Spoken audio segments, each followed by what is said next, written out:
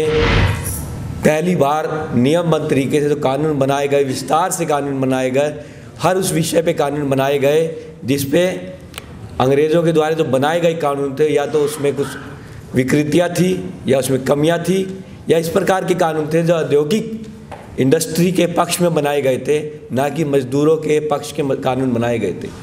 जब डॉक्टर अम्बेड मैं अपने वक्तव्य को जैसे ही मुझे बताया, मैं बिल्कुल लिमिट में रखूँगा।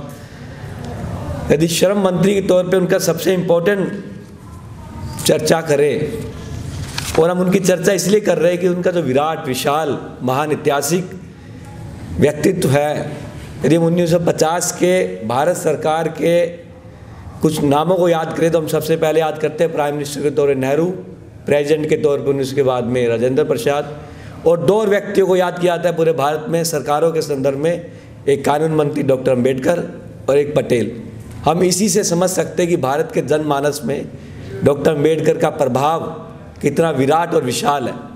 और उस विटाल, विशाल और विराट व्यक्तित्व को किस प्रकार से भारत के एकेडमिक वर्ल्ड में, क्योंकि मैं दिल्ली यूनिवर्सिटी में पढ़ा रहा हूँ पॉलिटिकल साइंस और देखता हूँ कैसे डॉक्टर अंबेडकर के विचारों को ज़्यादा उभरने नहीं दिया गया शैक्षणिक जगत में।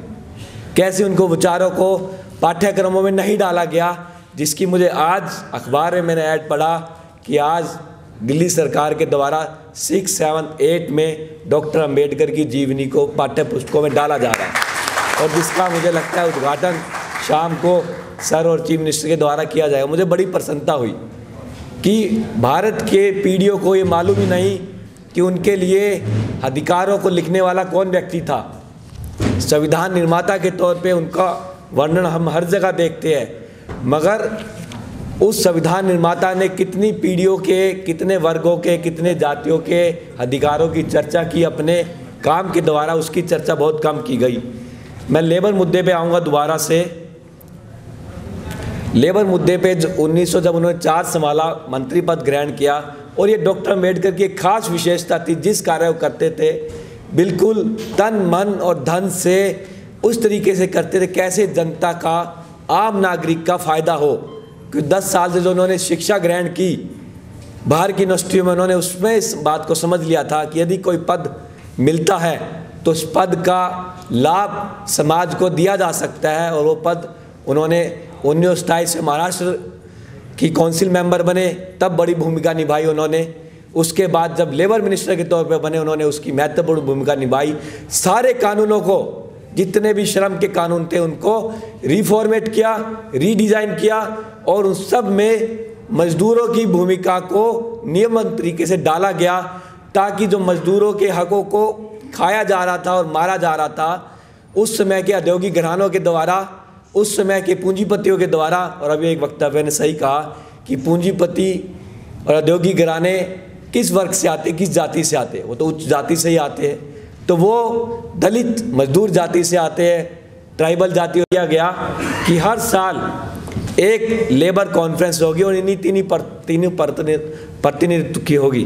दूसरे एक स्थायी समिति का गठन किया गया, जो सरकार को लेबर के संदर्भ में सुझाव देगी और राय देगी कि लेबर अधिकारों में क्या क्या कमियाँ हैं और हर ये स्थायी समिति हर सरकार को बताएगी क्या सुधार किए जा सकते हैं। तीसरा देश के श्रम कानूनों में एक रूपता लानी थी कि 1935 का जो Government of India Act pass किया गया था, इसको कॉन्क्रेंट लिस्ट में डाल दिया गया था लेबर इश्यूज़ को, जिसके कारण जो स्टेट्स थे, उन्होंने डिफरेंट डिफरेंट कानून बनाए लेबर के संदर्भ में। तो उनको एक ऑल इंडिया लेबर फ्रेमवर्क में डालने की बात भी इसी कॉन्फ्रेंस के द्वारा फैसला लिया गया। उस कॉन्फ्रेंस में बहुत सारे लोग शामिल हुए ट्रेड यूनियन की तरफ़ से, जिसमें एक वीवी गिरी भी थे, जो बाद में देश के राष्ट्रपति भी बने।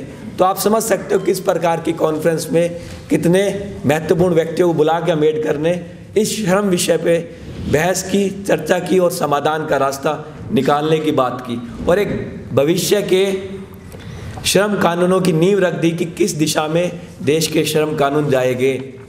उसके बाद यदि हम उनके द्वारा बनाए गए कानूनों की बात करें एक दो, जो बहुत ही महत्वपूर्ण कानून है, उस समय माइंस में जो महिलाएँ काम करती थी, उनके लिए उनके लिए जो मैटर्निटी या मैटर्निटी के इशू को लेकर उन्होंने कानून बनाया और कानून में महिला और पुरुष को समान वेतन की बात पहली बार अंबेडकर के द्वारा ही रखी गई। और ये कहा गया, माइन में किसी महिला का जो बच्चा होता है, उसके छः छः हफ़्ते तक वो माइन में काम नहीं करेगी और उसके साथ साथ ये सरकार की और माइन की ज़िम्मेदारी उसकी सोशल सिक्योरिटी को दे। और यहीं से डॉक्टर अंबेडकर ने मजदूरों के लिए सामाजिक सुरक्षा का लंबा चौड़ा प्रावधान कानूनी रूप से लाने का प्रयास किया, जो आज के दिन में महँगाई भत्ते की बात करते हैं डीरेंस अलाउंस की बात करते हैं, लीव्स की बात करते हैं, मजदूर कम, जो फैक्ट्री में कैंटीन की बात की जाती है, इस तरह के जितने भी कानून हैं, वो डॉक्टर अंबेडकर के द्वारा ही बनाए गए थे कि मजदूरों को कैसे सामाजिक सुरक्षा दी जाए। उन्हीं के द्वारा बनाए गए जो कानून है, कोयला खदान में कानून बनाया गया। वेतन, भुगतान संशोधन विधेयक था, जिसका अमेंडमेंट 1936 में बनाया था 44 अमेंडमेंट किया कि जो सैलरी दी जाती है मजदूरों को, उसकी कोई क्लियर कट डेफिनेशन नहीं थी। सैलरी कितने समय में दी जाएगी, उसकी डेफिनेशन नहीं थी, जो जब कानून बनाया गया 36 में। और जो व्यक्ति काम पे नहीं आएगा तो उसकी सैलरी किस नियम से काटी जाएगी? इन सब विसंगतियों को बाबा साहब ने 1944 में अमेंडमेंट के द्वारा दुरुस्त किया गया। और इस तरह के हम देखते हैं असंख्या, असंख्य कानून है जो लिस्ट है उनकी। नेशनल एम्प्लॉयमेंट एजेंसी जिसको हम इसमें एम्प्लॉयमेंट एक्सचेंज कहा जाता है, उसकी स्थापना भी बाबा साहब ने श्रम विभाग के तौर पे की थी। और यदि आपको डॉक्टर अंबेडकर के श्रम मंत्री के तौर पे किए गए कार्यों की ज़्यादा जानकारी चाहिए और पढ़ना है। तो पूरे अंबेडकर के दो वॉल्यूम इसी विषय पे है, वॉल्यूम ट्वेंटी और ट्वेंटी वन, जिस पे उस समय की केंद्रीय विधानसभा जो वर्तमान पार्लियामेंट है, उसमें बाबा साहब ने चार सौ बहत्तर क्वेश्चनों का जवाब दिया और बहुत जो उनके जवाब, जो है हम पार्लियामेंट क्वेश्चन आवर चलता है, उसके हम देखते हैं। उसके जो जवाब डॉक्टर अंबेडकर के द्वारा दिए जाते थे, इतने डिटेल से होते थे, तथ्यात्मक होते थे, जो आज के दिन में एक बहुत ज़्यादा रिसर्च का विषय कि बाबा साहब ने जो आंसर दिए पार्लियामेंट में, सदन के पटल में, वो उस समय के सबसे बेहतरीन आंसरों में माने जाते हैं, वर्तमान संदर्भ में जो रिसर्च जो करते हैं लेबर इश्यूज़ पे लीगल एक्सपर्ट्स पे और इकोनॉमिक इश्यूज़ पर। उसी के अलावा एक और बुक है वॉल्यूम 18 में लेजिस्लेटिव सेंट्रल लेजिस्लेटिव में क्या क्या कानूनी प्रावधान रखे गए? वॉल्यूम 18 में सारे बताए गए हैं। पैंसठ ऐसे चैप्टर हैं, जिसमें उन्होंने विस्तार से बताया कि किन किन में सुधार किए।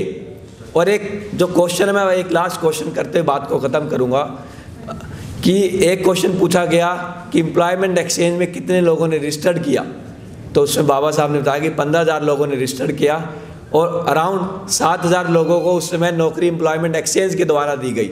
तो ऐसे ऐसे बड़े बरीक क्वेश्चन, कितने, किस विभाग में ऐसी लोग काम करते हैं, किस पद पे काम करते हैं, कितने मुस्लिम्स काम करते हैं, कितने सिख्स काम करते हैं लेबर लेबर से संबंधित डिपार्टमेंट में तो हम देख सकते हैं, समझ सकते हैं कि डॉक्टर अंबेडकर ने एज ए श्रम मंत्री के तौर जो कार्य किए और जो वर्तमान में उदारीकरण के दौर में, जो इस समय सबसे ज़्यादा ज़रूरत है, देश भर में इस समय बहुत से ऐसे कानूनों की ज़रूरत है जो बनाने, बनाए जाने चाहिए, या तो बनाए गए तो बहुत कमज़ोर हैं।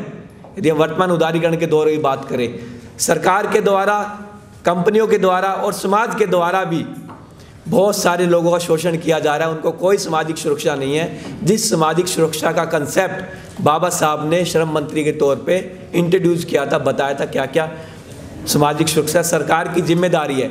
चाहे गार्ड्स की बात करें, लाखों गार्ड्स आज कोई सामाजिक सुरक्षा नहीं है उनको। कितने ही लोग आज कंट्रेक्चुअल सरकारी सिस्टम में काम कर रहे हैं। उनको कोई सामाजिक सुरक्षा नहीं है। जब दिल्ली की बात करते हैं तो जो गोपाल राय, श्रम मंत्री है, उनके द्वारा न्यूनतम वेतन बढ़ाने की चीज़ को लागू किया गया और उसको इम्प्लीमेंट भी कर रहे हैं। फॉलोअप भी कर रही कौन सी कंपनी इस न्यूनतम वेतन के मामले को। आज दिल्ली भारत में न्यूनतम वेतन देने में सबसे हाईएस्ट है जो अखबारों से हमें पता लगा। तो ये प्रयास आज हमें याद करें कि भारत का केंद्र सरकार का लेबर मिनिस्टर कौन है? हमें नाम नहीं पता होगा। क्यों? कि उनकी कोई भी लेबर के काम करने के लिए कोई भूमिका नहीं है। वो सिर्फ़ और सिर्फ़ इंडस्ट्री के हितों के लिए काम कर रही है, जबकि मंत्रालय का नाम है लेबर मिनिस्ट्री काम इंडस्ट्री के हितों को, उनको लेबर के हितों के लिए काम करना चाहिए और उसे सीखना चाहिए। तो कैसे डॉक्टर अंबेडकर ने काम किया था उससे सीख सकते हैं। धन्यवाद। आपने अभी तक हमारा चैनल सब्सक्राइब नहीं किया है तो सब्सक्राइब करें और घंटी का बटन बिल्कुल भी दबाना ना भूलें, ताकि सभी लेटेस्ट खबरें पहुँच सकें आप पे सबसे पहले।